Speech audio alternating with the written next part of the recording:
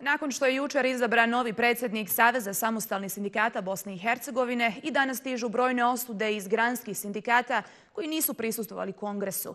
Iza sindikata Solidarnosti kažu da je po uzoru na diktatorske režime Selvedin Šatorović bio jedini kandidat za ovu funkciju. 14 granskih sindikata najavljuje tužbe.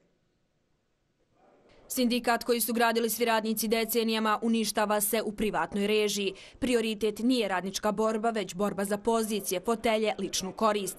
Cilj je domoći se pečata i kontrole financija, na čemu se bogate godinama i upravo zbog toga Sindikat Solidarnosti nije član Saveza samostalnih sindikata Bosne i Hercegovine, na čijem čelu su Šatorović i Bajramović, kaže predsjednik Sindikata Solidarnosti Sakip Kopić. Kongres je nelegalan, nelegitiman jer na njemu nije prisustovala većina granskih sindikata te s te strane Šatorović ne može biti upisan kao predsjednik tvrde. Njima nisu bitna radnička prava koja se krše na svakom čošku, njima su bitne samo ovaj, fotelje, njima su bitni samo da upravljaju financijama i nekretninama u sindikatu.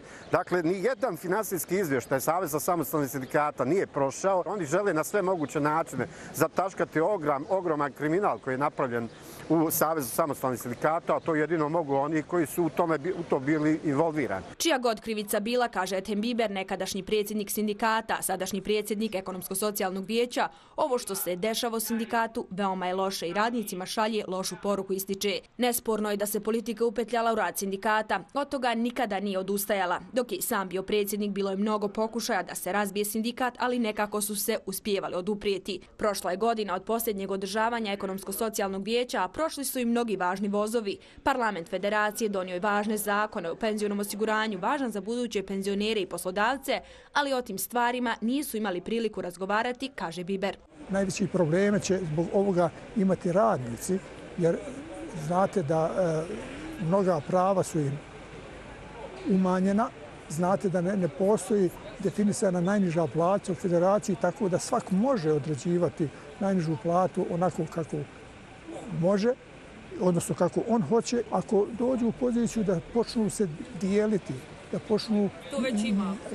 Da jedne druge počnu, ne daj Bože, poč, tužiti i tako dalje i na takav način rješavati problem, to je definitivno kraj ovakvom vidu sindikalnog pokreta. Iz vlade federacije kažu da je još rano govoriti o priznavanju novog predsjednika sindikata, jer je sindikat svoju reprezentativnost dobio na osnovu članstva 24 granska sindikata.